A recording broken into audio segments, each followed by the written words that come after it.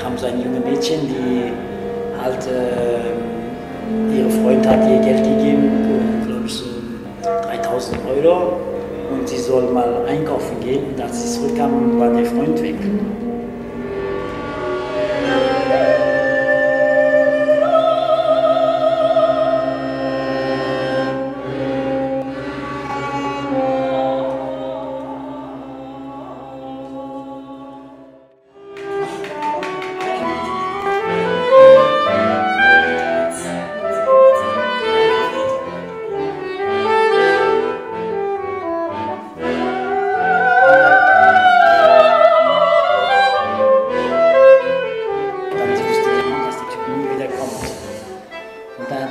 Taxi eingestiegen hat gesagt, du fährst mich mit diesem Geld, bis alle ist, oder steige ich aus.